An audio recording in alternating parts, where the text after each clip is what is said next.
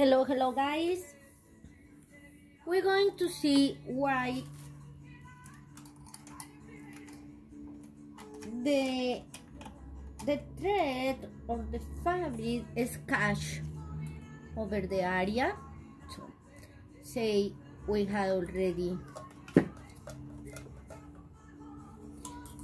this machine ready uh, subscribe to my videos. You can see how cleaning maintenance fixes and many tips for soy subscribe to my videos guys.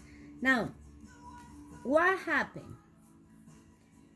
Say going to sew a little. I'm going to see. It's perfect soy but I can that get some tangle here cash by this and it's like a, the the thread. It get cash in the part in this part the needle play. So easy.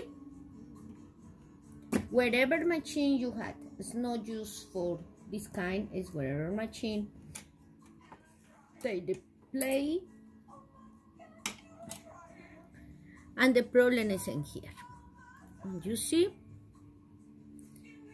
It's because if you pass the nail there are uh, small indentations. Sometimes it's for the two two parts in this case is in this part because before in the time someone well is hit the nail the needle in here hit the needle and create that indentations. So you can buy one according for what is yours. You you can look in that for buy one or use sandpaper. I had this as 120C but you can use other kind. Just I had this one for a long time so I use that. You stay a little piece and you're going to start to sand in here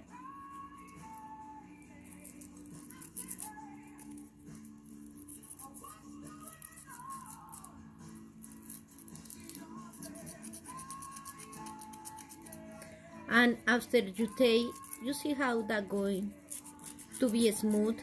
After it's smooth you can put again and you can continue sewing. That's all. Easier okay guys thank you for watch. God bless you. And please continue. We pray for these teenagers the kids the young people in the schools. God almighty heal them and give the good education with the spiritual life because we need a part. Amen. God bless you guys. Bye. Have a nice day.